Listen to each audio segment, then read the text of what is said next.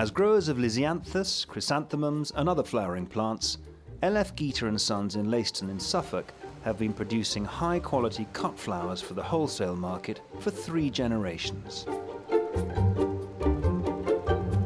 With a glasshouse area of 1.6 hectares, requiring 220 kilowatt hours of heat per square metre, fuel input demand is approximately 4.5 million kilowatt hours, so energy costs have always been a major consideration.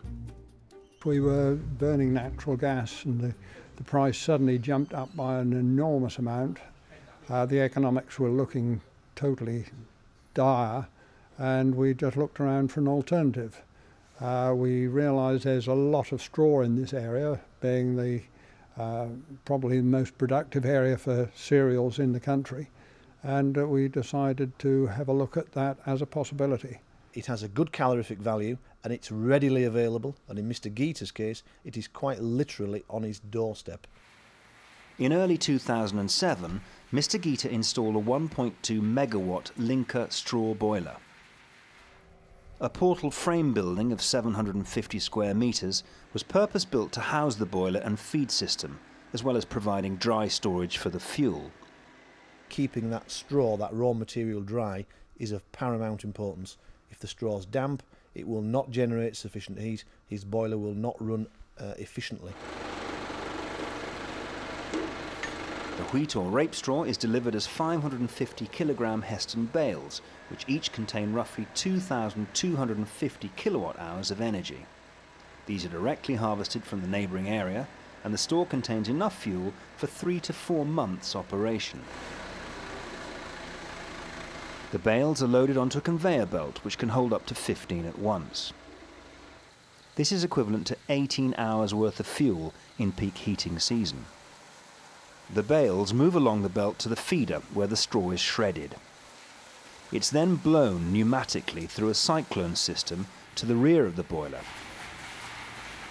where it's carried by an auger directly into the combustion chamber where it's burned. The heated water is pumped to a 140 cubic metre thermal storage tank, from where it's distributed to the glasshouses.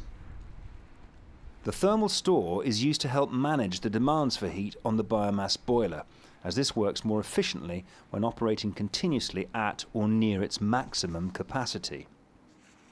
The thermal store not only smooths out peaks and troughs in the daily heat demand, it also enables the size, and therefore cost, of the biomass boiler to be kept much smaller than would otherwise be possible. The boiler itself is, is sized to about half the heat, the maximum heating demand of the nursery.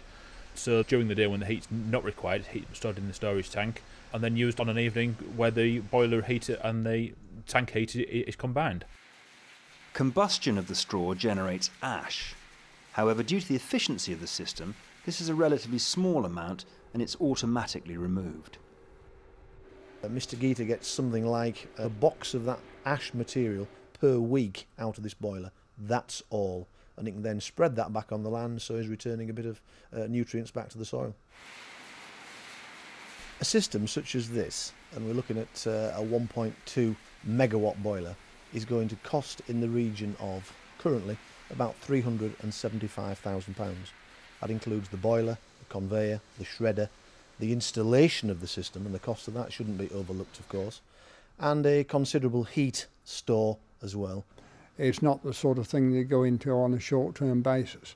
Economically, yes, it's a good thing from the uh, heating point of view. There's no doubt about that. If we were still on uh, natural gas now, we would be paying two and a half times as much money per year as we are now. At current prices, Mr. Geater will have recovered his costs within approximately six years.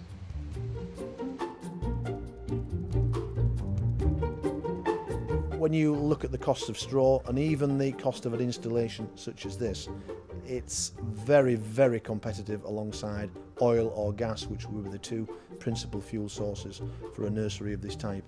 And of course, the price of oil and gas is just skyrocketing all the time.